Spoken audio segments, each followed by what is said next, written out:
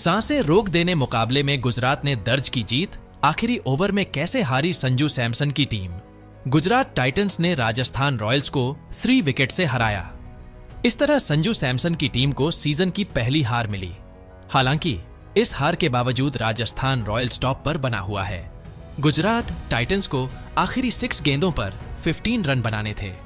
Rajasthan Royals के लिए आवेश खान आखिरी ओवर डाल रहे थे। वहीं गुजरात टाइटंस के लिए राहुल तेवतिया और राशिद खान क्रीज पर थे।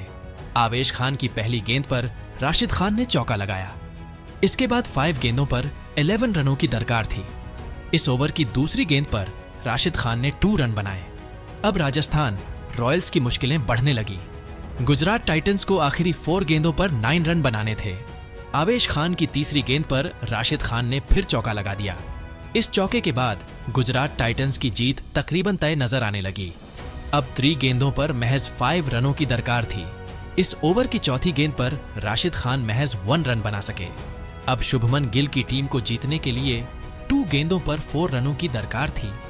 लेकिन पांचवी गेंद पर तीसरे रन लेने के प्रयास में राहुल तेवतिया रन आउट हो गए। लेकिन इस बीच दोनों बल्लेबाजों ने दौड़कर टू रन पूरे कर लिए। इस तरह आखिरी गेंद पर गुजरात टाइटंस को जीत के लिए टू रन बनाने थे, जबकि टाई के लिए वन रन। लेकिन राशिद खान ने चौका लगाकर अपनी टीम को रोमांचक जीत दिला दी।